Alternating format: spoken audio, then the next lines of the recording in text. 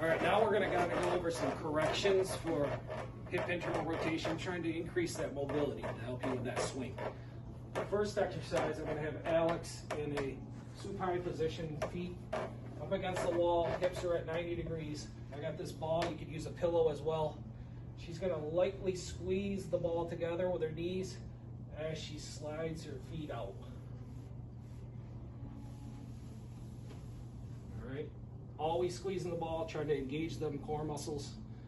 Nice and controlled, 10, 10 reps. So just increase, just by doing active motion, that's gonna help increase hip mobility as well, so.